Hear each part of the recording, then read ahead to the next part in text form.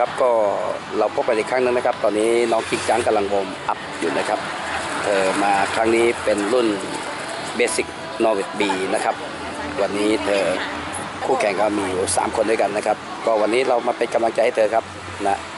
ก็ลุ้นกันพอสมควรนะครับ ก็มีไทย 2 แล้วก็ไทยเปนหนึ่งนะครับอีกสักครู่นะครับเนี่ยจะมาดูน้องจิงจังครับ เธอน่าจะเป็นคนอันดับที่ 3 นะครับ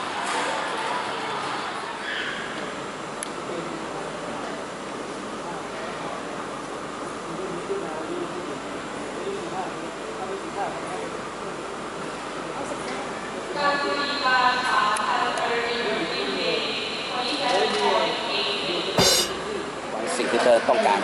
ตั้งสติให้ดี แล้วเล่นตามตามวอร์มแบบเมื่อเช้าเนี่ยมันจะเป๊ะตั้งสติเลยครับอย่าเพิ่ง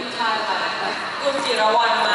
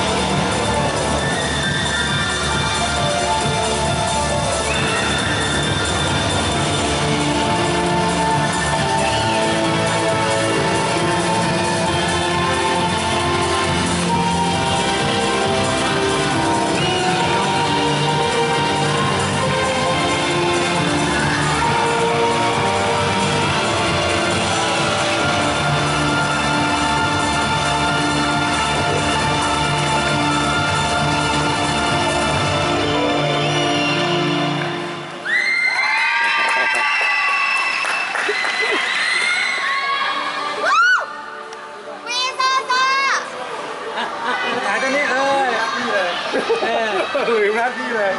พูดแล้วยืนจะรอถ่ายพี่หนึ่งสองสามเดี๋ยวนะหนึ่งอะสู้ๆหหน่อยนึ่งสองสาม